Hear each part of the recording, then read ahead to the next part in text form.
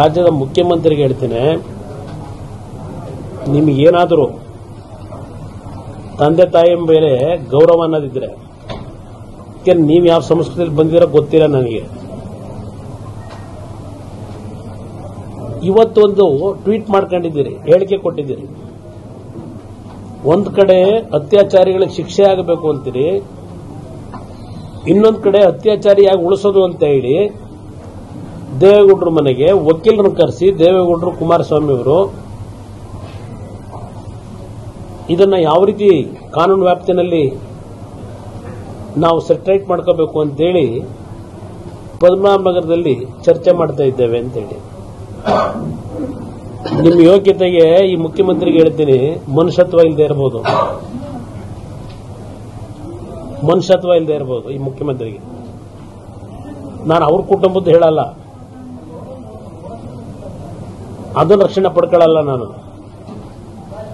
ನಾನು ಬಂದಿರೋ ಸಂಸ್ಕೃತಿ ಇವತ್ತು ನನ್ನ ತಂದೆ ತಾಯಿ ಯಾವ ನೋವಿನಲ್ಲಿದ್ದಾರೆ, ಆ ನೋವಿನಿಂದ ಅವ್ರನ್ನ ಆತ್ಮಸ್ಥೈರ್ಯ ತುಂಬಿ,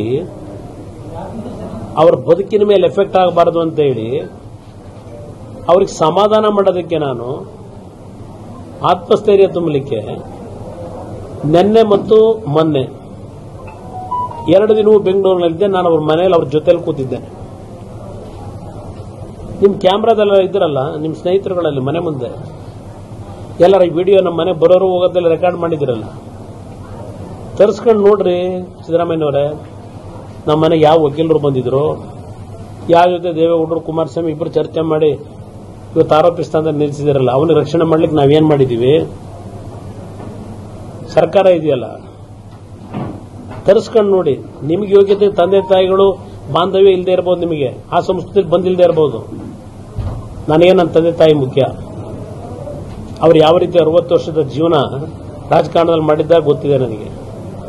ನನ್ನ ತಾಯಿ ಯಾವ ರೀತಿ ಬದುಕಿದ್ದಾರೆ ಗೊತ್ತಿದೆ ಸಂಸ್ಕೃತಿಯಲ್ಲಿ ಬದುಕಿದ್ದಾನೆ.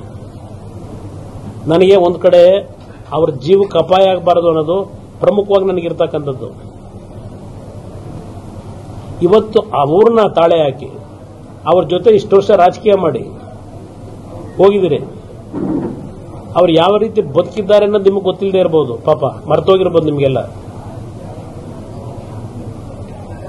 ನಾವು ನೂರಾರು ಬಾರಿ ಹೇಳಾಯ್ತು ಈಗ, ತಪ್ಪು ಯಾರೇ ಮಾಡಿರಲಿ ಶಿಕ್ಷೆ ಆಗಬೇಕು ಅಂತ ಹೇಳಿ.